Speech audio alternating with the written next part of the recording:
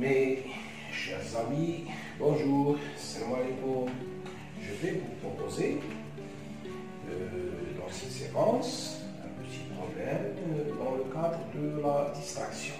Donc, un petit problème. Distraction.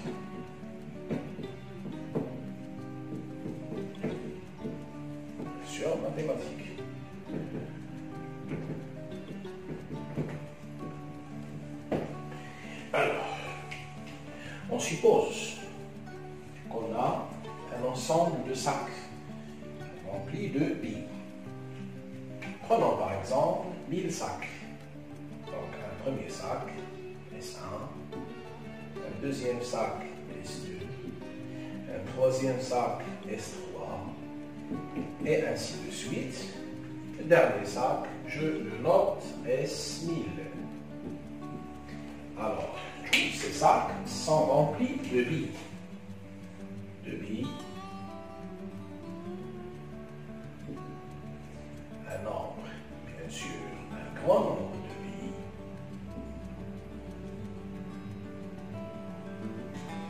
Un grand nombre de billes.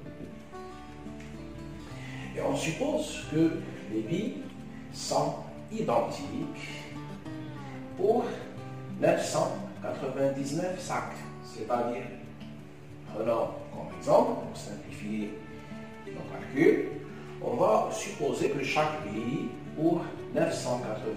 999 sacs pèse 1 gramme. Donc chaque bille, donc on a 1000 sacs, alors qui sont remplis de billes, et chaque bille pour 999 sacs pèse, chaque bille pèse par exemple 1 gramme. Sa masse est 1 gramme. Sauf pour un sac. On a un seul sac. Les billes, alors pour un seul sac, les billes pèsent chacune le dos, par exemple 2 grammes. Alors, on a 1000 sacs.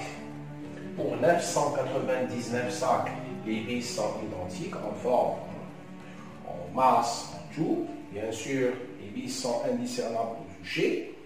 Et il y a un sac où les billes sont doubles euh, en, en masse. Sont doubles en masse. Le problème, en utilisant en utilisant une balance.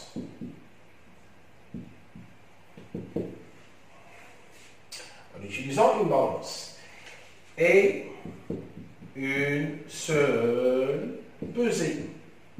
Vous allez effectuer une seule pesée. C'est une condition. Une balance électronique, par exemple, à très haute précision. Alors, à l'aide de cette balance, vous allez faire une seule pesée. La question, c'est déterminer le sac en question, c'est-à-dire dont les billes pèsent 2 grammes. Déterminer le sac dont les billes pèsent chacune 2 grammes. Cela, bien sûr, à l'aide de la balance et d'une seule pesée. J'insiste sur le mot une seule pesée. Donc, vous faites pause et on se verra après.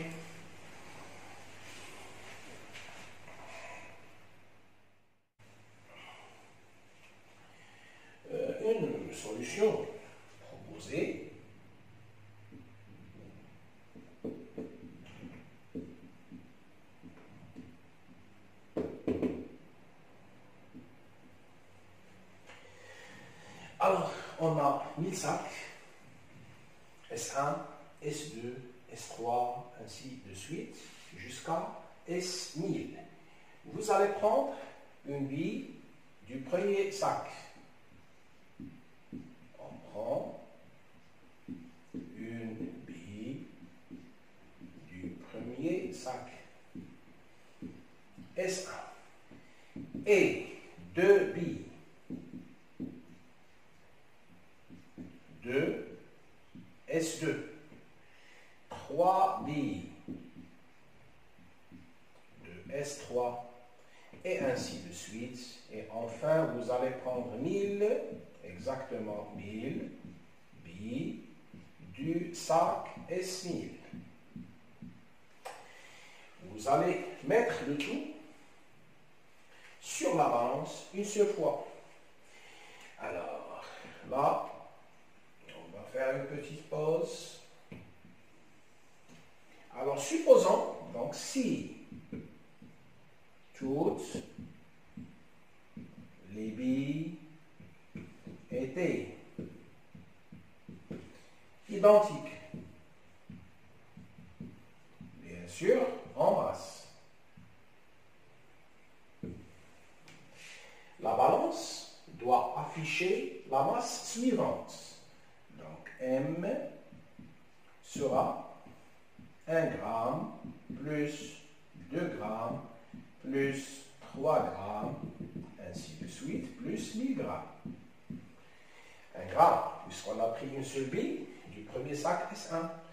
Donc, la masse de 2 billes du sac S2, c'est 2 grammes. La masse de 3 billes du S3, c'est donc 3 grammes. Et la masse de 1000 billes du sac S1000, c'est-à-dire 1000 grammes. Alors, M, 1 gramme plus 2 grammes, donc je n'ai qu'à faire la somme. 1 plus 2 plus 3 plus ainsi de suite jusqu'à 1000. Pour faire une telle somme, alors pour les gens qui n'ont aucune notion sur les 8, vous pouvez faire la somme de cette façon, comme l'a fait le grand mathématicien Gauss, quand il avait même pas 10 ans. Alors, une telle somme, je vais faire comme ça,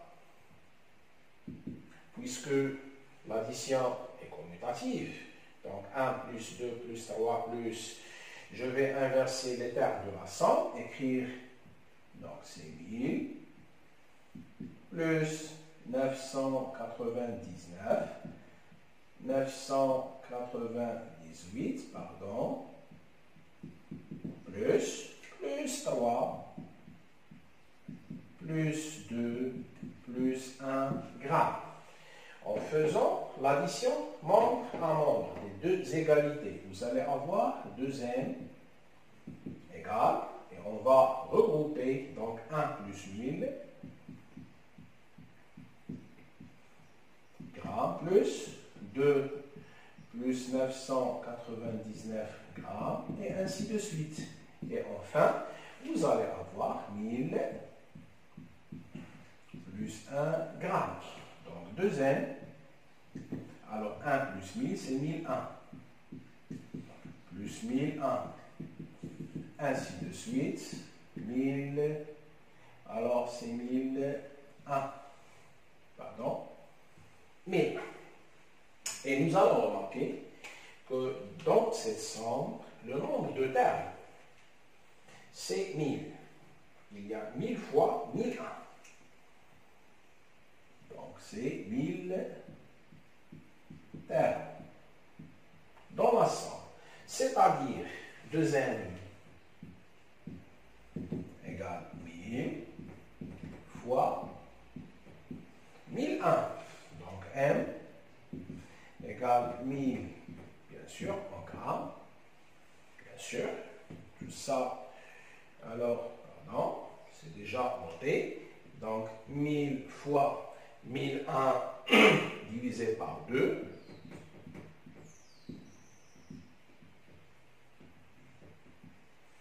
Donc m, je divise 1000 par 2. J'aurai alors 500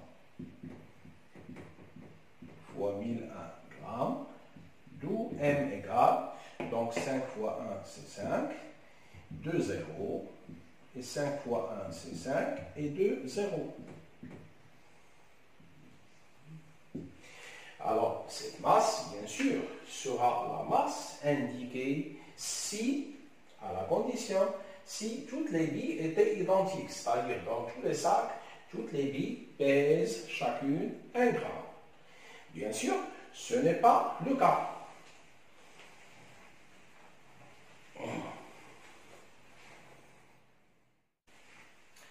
Donc, je reprends.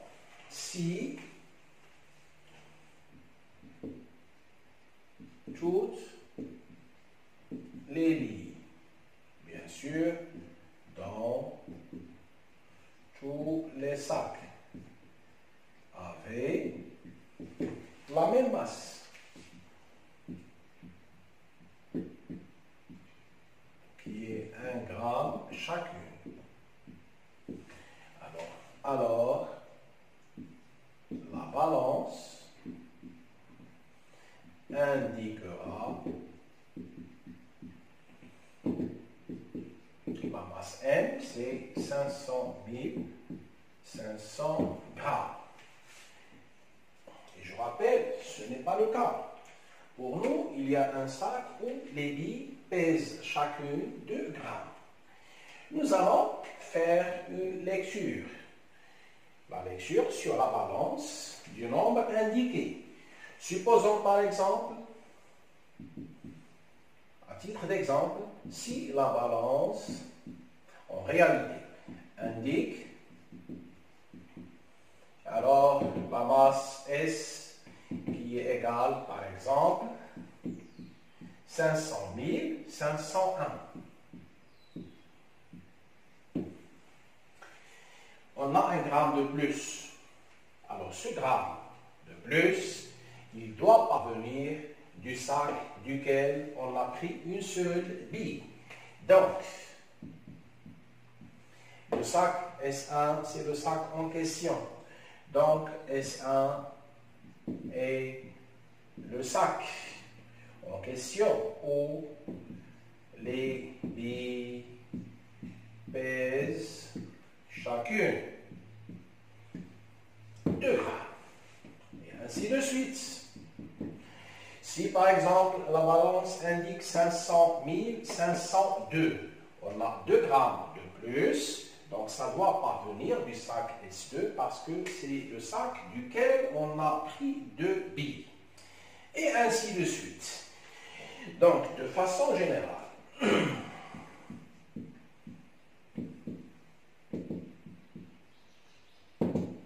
pour déterminer le sac en question, je fais la différence entre ce qui est indiqué sur la balance, la masse indiquée par la balance que j'appelle S et la masse M où les billes étaient identiques. Donc, de façon générale, le sac en question, c'est-à-dire chercher au, bien sûr, le sac où les billes pèsent chacune 2 grammes et le sac SI avec I égale la somme indiquée par la balance moins 500 000, 500 500, c'est-à-dire moins M. Tout court. S moins M. Donc le sac SI avec I, c'est quoi? C'est S, la masse qui sera indiquée par la balance, moins 500 500.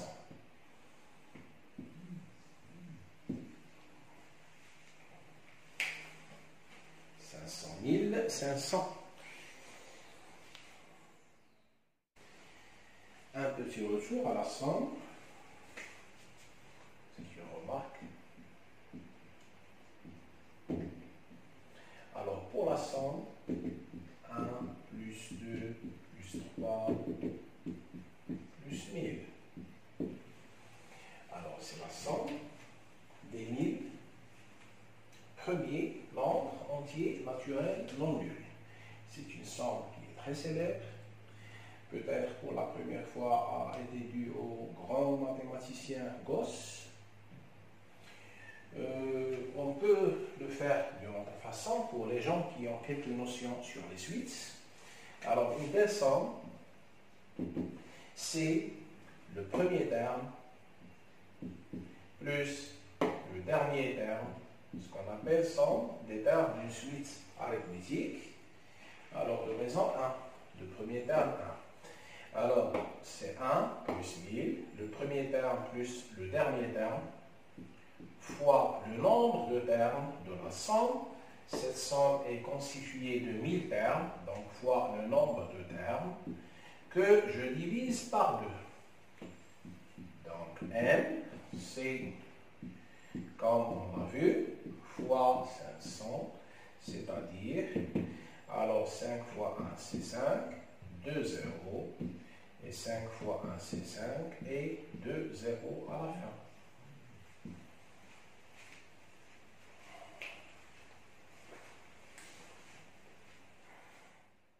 Et pour la prochaine fois, je vous propose un bonus, un autre petit problème. Alors, on suppose qu'on a une soirée, les gens sont invités en couple, c'est-à-dire homme et accompagné de sa femme. Pas de polygamie, chaque homme avec une seule femme, chaque femme avec accompagné d'un seul homme. Alors, dans une soirée,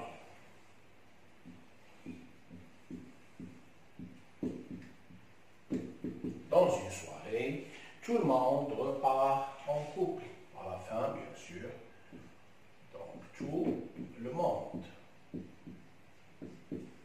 Donc, tout le monde repart en couple. C'est-à-dire homme et son conjoint. Donc tout le monde repart en couple. On a remarqué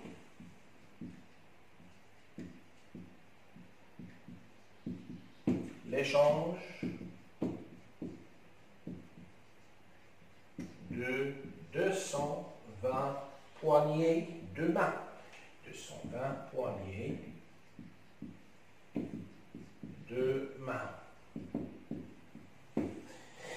Alors, on a remarqué, on a compté, alors 220 poignées de main. Le problème, combien y avait-il de personnes dans cette soirée? Donc, la question, combien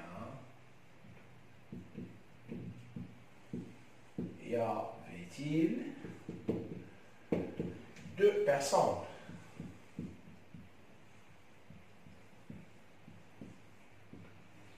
Cette soirée.